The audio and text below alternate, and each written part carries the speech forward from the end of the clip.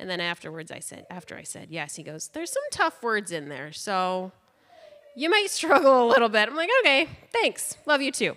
So, so here we go. so here is um, Mark chapter 3, verses 7 through 19. Jesus withdrew with, with his disciples to the sea, and a great crowd followed from Galilee and Judea and Jerusalem and Idumea, and from beyond the Jordan and from around Tyre and Sidon. When the great crowd heard all that he was doing, they came to him. And he told his disciples to have a boat ready for him because of the crowd, lest they crush him. For he had healed many, so that all who had diseases pressed around him to touch him. And whenever the unclean spirits saw him, they fell down before him and cried out, You are the Son of God. And he strictly ordered them not to make him known. And he went up on the mountain and called to him those whom he desired, and they came to him. And he appointed twelve, whom he also named apostles, so that he might be with him, or so that they might be with him, and he might send them out to preach and have authority to cast out demons. He appointed the twelve Simon, to whom he gave the name Peter, James, the son of Zebedee, and John, the brother of James, to whom he gave the name Boanerges, that is, sons of thunder. Andrew and Philip and Bartholomew and Matthew and Thomas and James the son of Alphaeus and Thaddeus and Simon the Zealot and Judas Iscariot who betrayed him.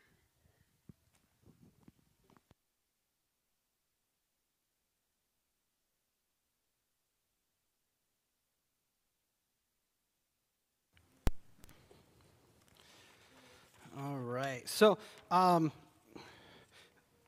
a lot of people who start a business often run into the problem where it's like how do we how do we scale this and make this larger and more impactful? For example um, i'm going to start a handmade soap business.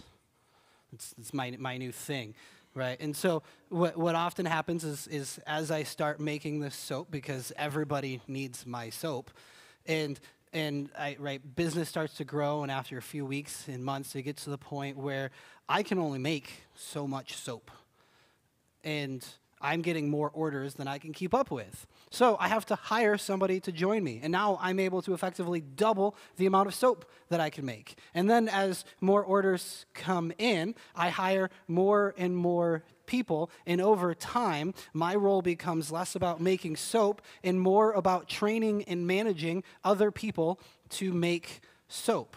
And that's how I'm going to become extremely wealthy and make the world smell a little bit better. Uh, I know that's kind of a ridiculous example because um, nobody can see me actually making soap.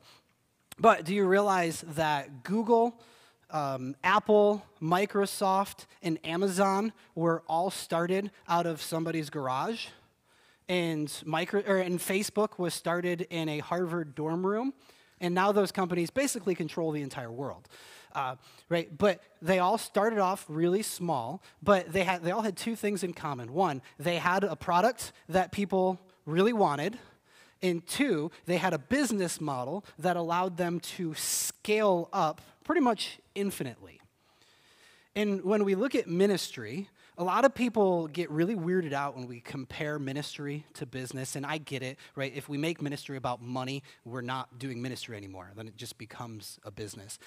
But there are still a lot of lessons that can be learned. And we look at the way that Jesus modeled his ministry for us and the way that he set up his church. It's basically, it's one, he has a product that everyone needs, which is eternal life.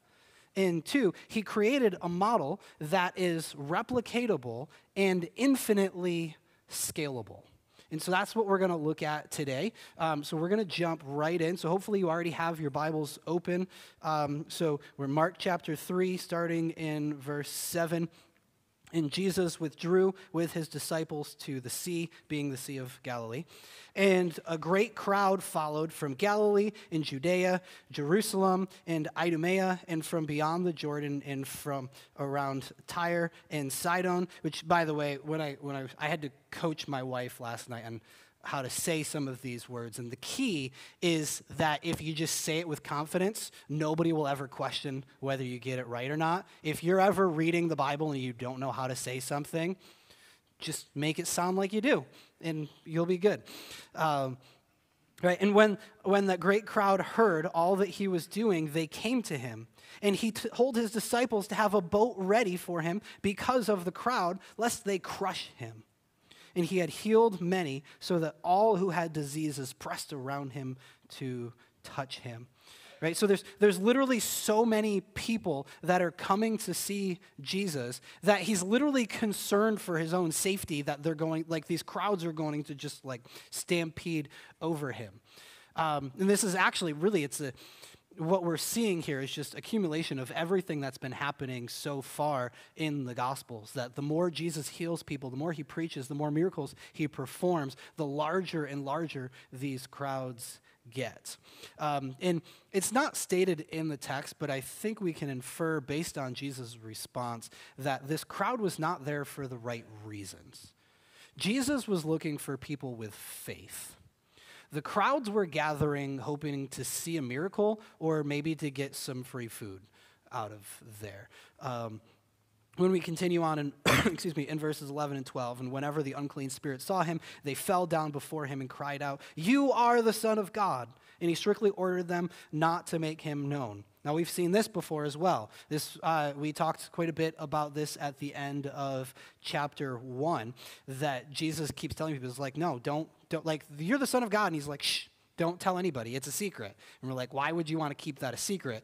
Um, and especially in the case of the demons, I think the safest answer is the fact that Jesus doesn't want his reputation proceeding from demons. That's not exactly good PR, um, right? You, you got to kind of question the source there, right? He wants people to know who he is based on what he's teaching, not off of what somebody with a demon said about him.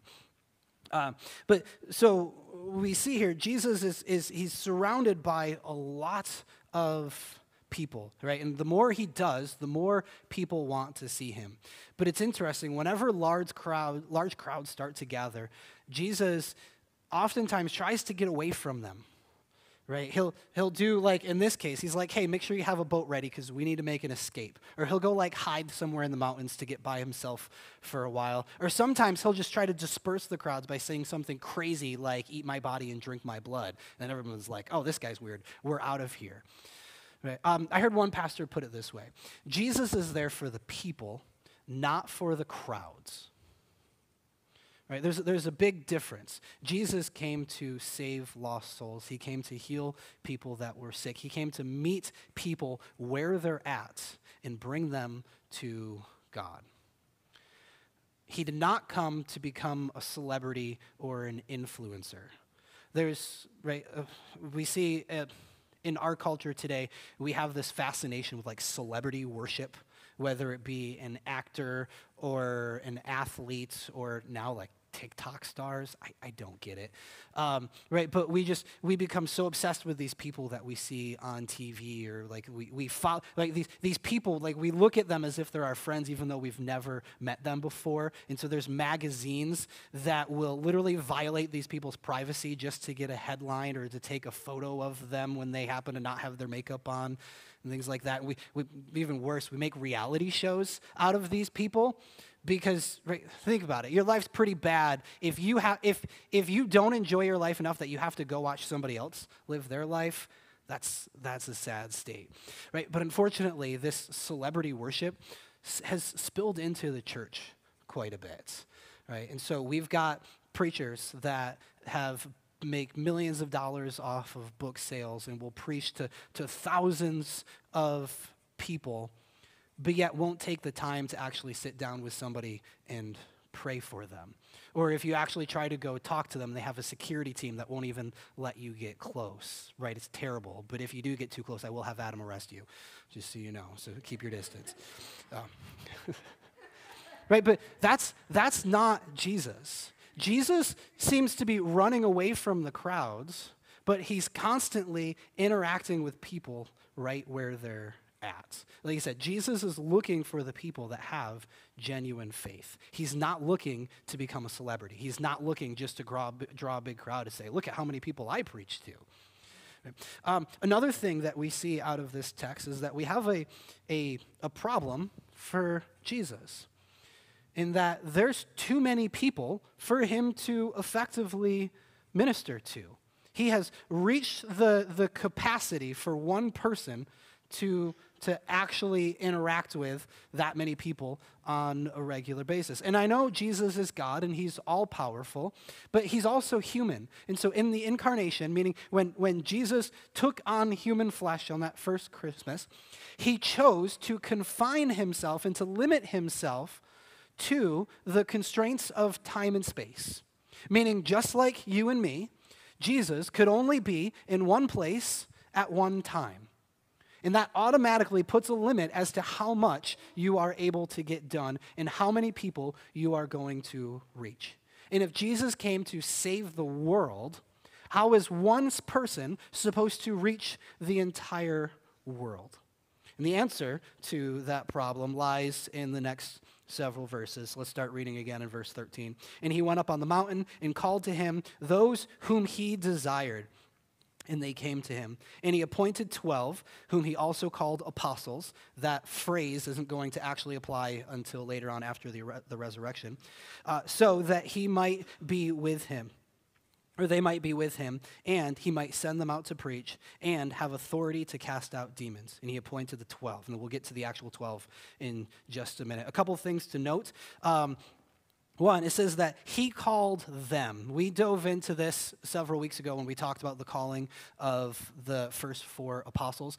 Discipleship and, and having followers was a normal part of their culture, but Jesus broke a lot of the norms by, spe- by specifically choosing the people whom he wanted to follow him. Normally, it was always the student who approached the teacher, and Jesus turned it around and he sought after the people that he wanted to follow him. The second is it says, they call them the, the, the 12. Um, so the word disciple means a follower or a student. And an apostle is someone who is sent out. Um, they call the, tw- he, they're referred to as the 12 because there were 12 of them. That's a significant number. Um, in the Old Testament, right, the, the Old Covenant under, under Moses had 12 tribes. And so Jesus intentionally starts his church with 12 disciples. We have the old covenant and now the new covenant, and he's showing the, the similarities, but yet it's a break in a new covenant that he's starting with. We also see the 12 show up again in Revelation, so that number is significant. Um, now, there are no more than that. Um, some people have tried to teach that the, uh, the the authority of the apostles were handed down to other people, and so right, they would replace them as they died off. Um, that's where you get. That's the essential teaching behind the the Pope in Roman Catholicism. I know, like Mormons have their own twelve apostles, um, and some of the more like extreme Pentecostal movements. We have like there's something called the New Apostolic Reformation that believes that there's still apostles who have the authority given directly from Christ.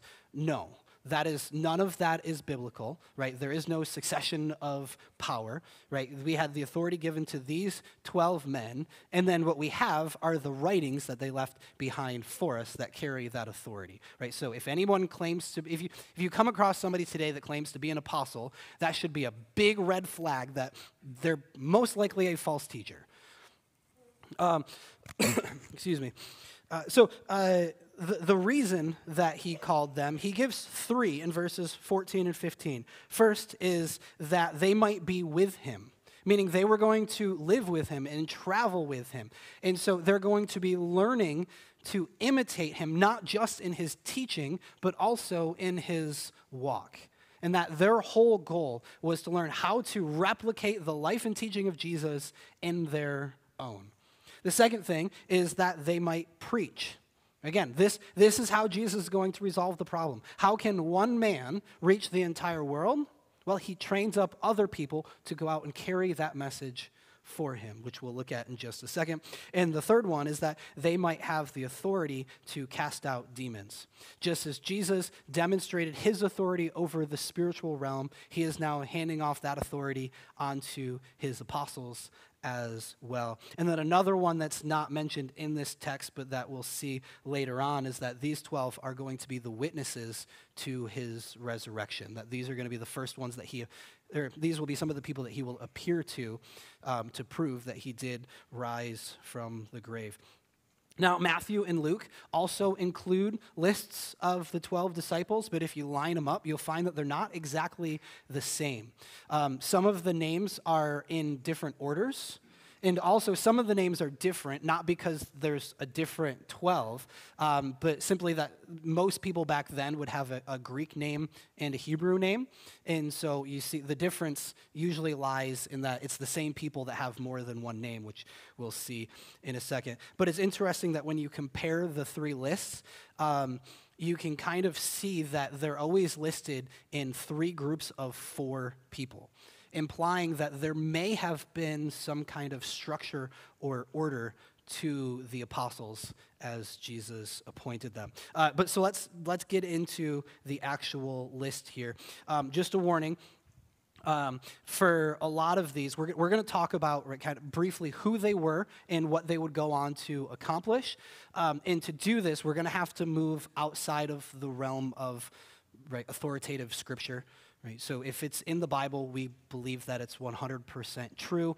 Uh, but the book of Acts that records the history of the church uh, stops somewhere around 60 AD. So anything beyond that, we're going to have to move into the realm of tradition in some of the legends that were handed down to us from the early church.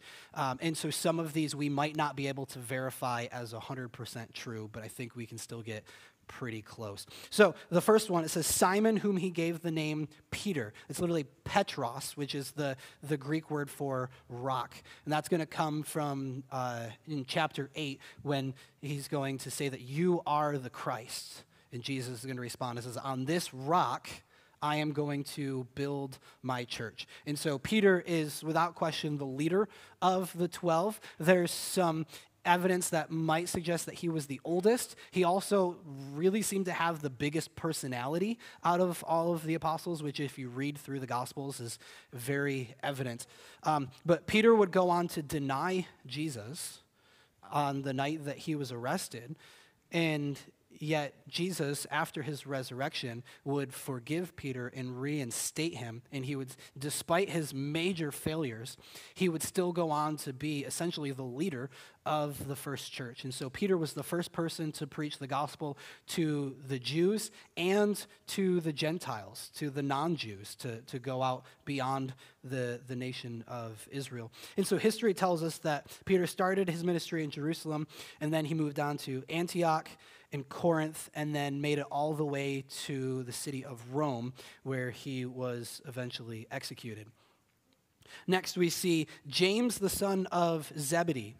Um, James, we're not told a ton about him in the Gospels, but James was the first person to die for his faith. He's also the only one of the apostles to have his death recorded in the, the book of Acts because he died in Jerusalem at the hands of the Jews somewhere around 40 AD. So he only got to minister for roughly seven ish years.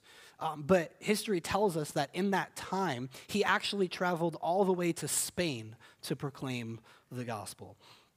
Um, next, we have John, the brother of James, and this is where it says, whom he gave the name Boanerges. Like I said, I have no idea if I'm pronouncing that right. It's a Greek word. Um, but the word means the sons of thunder.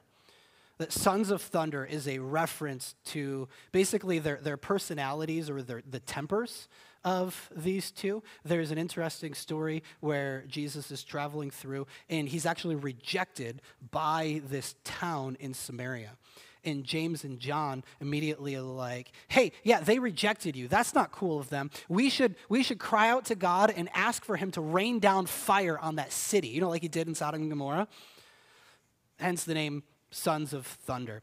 James and John were also the ones who it says that their mom came to Jesus and asked if they if her sons could be on his right and left side when he's on the throne. How embarrassing would that be? You picture them like, Mom, don't embarrass me in front of Jesus. Right, so that's that's James and John, um, and so Peter, James, and John make up kind of the the inner three. These are the three that out of out of the twelve, these are the three that Jesus spent the most time with. These were the three that would get to witness his transfiguration later on. Um, but specifically for John, um, John was John was the favorite of the group. He's the one that it says that the, the one whom Jesus loves is is actually described of him. And uh, he would go on to be, or, well, he's, he was the only disciple to be present at the crucifixion and also the only disciple to not be martyred. Coincidence? I don't think so. Um, but he would, later in life, he would be exiled by the Roman emperor to a small island off of Greece called Patmos. And it was during that time of exile that he would write the Gospel of John, um, three letters, as well as the book of Revelation. And then again, history tells us that once that emperor died, uh, the next one came in and actually released John, where he returned to the city of Ephesus, where he stayed and pastored until his death somewhere around 100 AD. Um, we have uh, Andrew, who is the brother of Peter, and according to John, the one who brought Peter to Jesus. Um, and Andrew, it is believed that he preached around the region of the Black Sea and kind of north of that, which would be modern day Ukraine and Russia. Uh, then we have Philip, who's known as Philip the Evangelist. He went to Hierapolis, which is in modern day Turkey, and possibly to the region of uh, Persia, which is modern day Iran. Bartholomew, also known as Nathaniel, traveled to Armenia and possibly made it as far as India.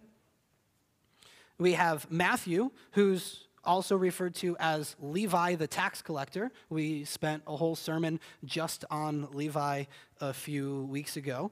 Um, but he would go on not only to write the Gospel of Matthew, but it is believed that he preached in Persia, again, Iran, um, Egypt, and all the way down into Ethiopia, which is where he was killed um, by the king's guards down there in Ethiopia. Um, Thomas. Thomas is often known as Doubting Thomas because of the story after the resurrection. Thomas was the only one not present when Jesus first appeared to his disciples. And when all the rest of the disciples came to Thomas, he's like, hey, Jesus is alive. You have to come see him. And he's like, no way. I won't believe it until I get to actually like place my fingers in the holes where they put the nails. And so then Jesus shows up and he's like, here you go, Thomas. Um, and so Thomas gets kind of a bad rap, right? He had, he had one bad moment, and now 2,000 years later, we're still calling him Doubting Thomas, which mm, I don't know if that's completely fair because there are other instances in the gospel where Thomas does seem to show great faith and courage. Um, but Thomas actually traveled all the way to India where legend has it that while he was there, he converted a doubting king. God has a sense of humor. Um, so from uh, Thomas, we go to James, the son of Alphaeus. Again, so there's two James, and they, they distinguish, they didn't have last names. So, right, the son of Alphaeus is to distinguish him from the other James. He's also called James the Lesser sometimes, uh, mostly just because he didn't do quite as much as the other James. We don't know a ton about him other than he did most of his ministry around Jerusalem. Then we go on to Thaddeus.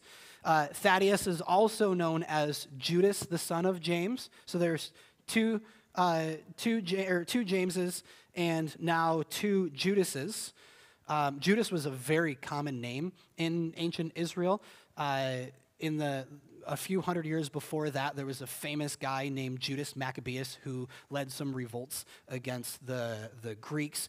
If you want to learn more about that, come to the deep end this month, and we're going to talk about that time frame between the Old Testament and New Testament. But all that to say that there were, that was a very common name. Um, and so his Greek name was Thaddeus. And uh, given whom he shares a name with, it's easy to see why he would want to be remembered after the fact as Thaddeus and not be confused with the other guy. Um, but he preached in Armenia, or Armenia along with Bartholomew. Then we get to Simon the Zealot. This is an interesting one. Um, zealots refer to a specific group within Judaism that were like radical separatists. Um, they hated Rome because they viewed them as their oppressors and their, their captors. And so they, they fought for the independence of Israel. And they were known to actually carry daggers up their sleeves. And so if they ever came across a Roman uh, soldier or like an, a Roman official, they would try to assassinate them. And Jesus chooses one of these guys to become his follower on the same team as Levi the tax collector, who was known as a traitor to the Romans. Right? There's no other situation in which these two people would ever want to work together. Uh, but it's just one of an infinite number of examples of how the gospel brings restoration and forgiveness and how it, it can bring people together. Uh, then we move on to Judas Iscariot. Um, Iscariot, again, they didn't have last names. Um, that meant that he was from the town of Cariot. And uh, so it says, who betrayed him. And so it's, it's fascinating to think about Jesus, who is all knowing, intentionally chose Judas to be to live with him amongst the 12 and to travel with him knowing that Judas was going to be the one who would betray him. And the reason that he did that is because he understood that Judas played a very important role in his father's will for his life, and that Judas was going to be the one that would bring on his execution, resurrection, and therefore our redemption. Um, so Judas, after he sold out Jesus, he basically immediately went out and committed suicide. In the gospel, or in, in sorry, in Acts chapter 1, uh, it tells us that the apostles took it upon themselves to replace Judas with a man named Matthias because they recognized the, the, the symbolism of having 12. Like, we're down to 11, so let's, let's bring in another one. So they, they chose a very godly man named Matthias. Um, however, it is my personal opinion that I don't think God intended for Matthias to be the 12th apostle. I believe that he was saving that, that empty spot for Paul, who would come a few years later, who would be known as the apostle to the Gentiles. And Paul's travels are very well documented in the book of Acts. That's three quarters of the book of Acts is just about the travels of Paul. But so there we have it. We have Jesus chose 12 ordinary and unlikely men and he called and equips them to carry out his mission. Keep in mind that in the three years that Jesus ministered, he never left Israel, which, for comparison, is roughly the size of the state of New Jersey. Meaning that Jesus never preached outside of like a hundred mile radius.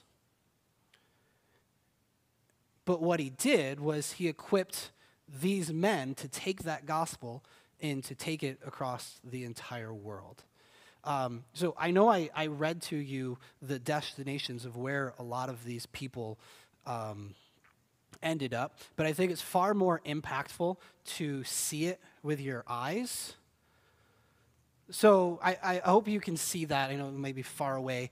Um, I was going to try to make a map, but I came across this one that did far better of a job than I could ever make myself. But when you look at all of the places that these 12 men were able to reach with the gospel, do you think Jesus' mission was successful? Yeah.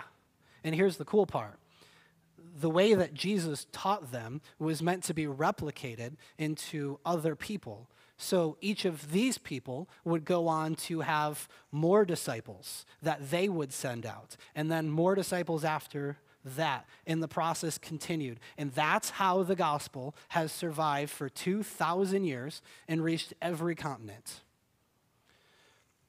Um, right? And even another encouraging part is that that's the same model that he has for us today. right? Things haven't really changed in 2,000 years, that we're expected to do the same thing, that we're expected to make more disciples and to send more people out and to go out and to share the gospel.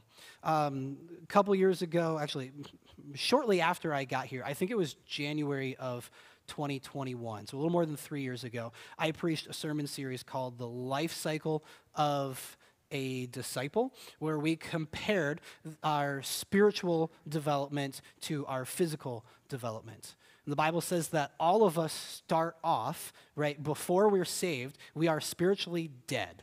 Right, we are dead to our trespasses and sins. Right? And then when somebody cares about us enough to share the gospel with us, Jesus says that we are now born again. But when you're born spiritually, it's an awful lot like when you're born physically. You are a newborn infant that is incapable of really doing anything on your own. You're ignorant to just about everything of what the Bible says and how we're supposed to live. And so it requires somebody to take your hand and to teach you how to do all of these things. And then you, as you grow, you begin to learn a little bit more, and you get that really awkward adolescent stage where you think you know everything, but you still don't, right? But you have to go through this and grow a little bit more. And then what we would consider spiritual maturity or spiritual adulthood is when you have the realization that, oh, this isn't just about me, but I need to serve other people because that's what Christ is calling me to do. And so you're a spiritual adult when you begin to discover what are my spiritual gifts and how can I get plugged into the church and start using those for the benefits of the church. And so you're serving and you're, you're, you're, you're evangelizing and you're doing all of these things. But then there's a final stage where you realize that you know what? I can accomplish a whole lot more if I replicate this into other people. And now you go from being just a disciple to a disciple maker. And this is what Jesus modeled for us throughout his entire ministry is teach other people how to do the same thing. Right? And so this is, this is what the entire Christian life is about. It's about this journey of growing and maturing in our faith and then turning around and helping other people to do the same.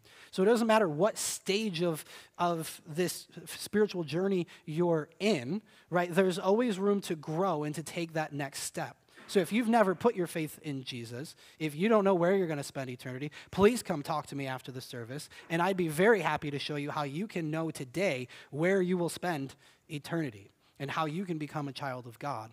But if you're new to this Christian thing, it's time to start learning. It's time to start growing, right? So maybe we go beyond just learning once a week, right? And so the essential thing that you have to do is get in your Bible and start reading.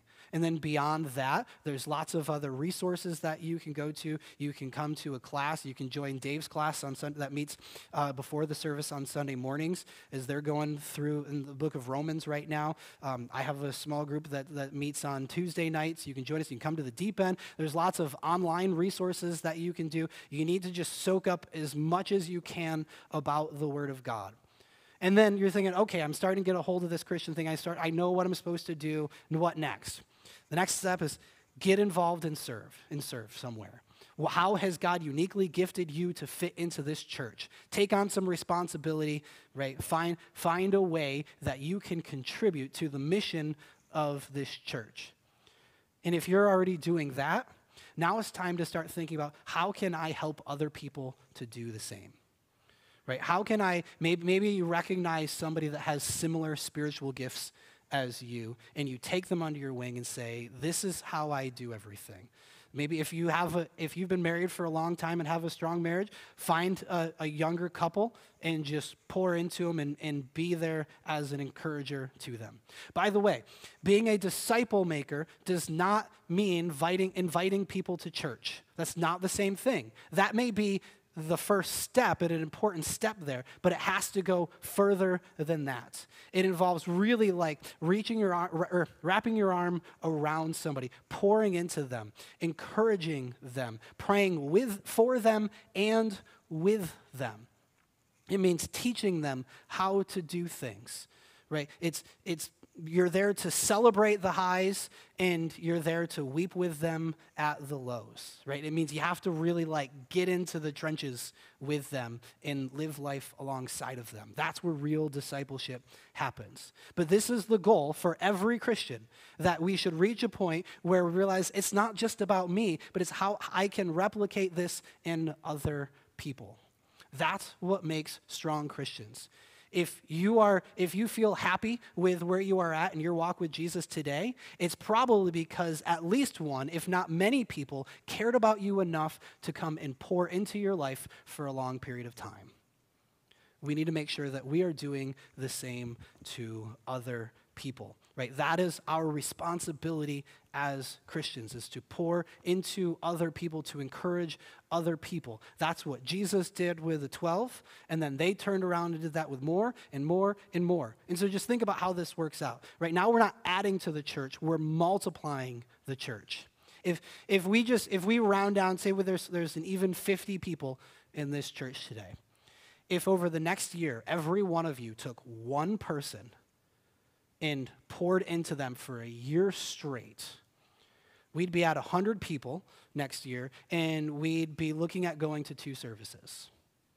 And then, if we start the process over, and for the following year, now all of us, the new people included, take another person.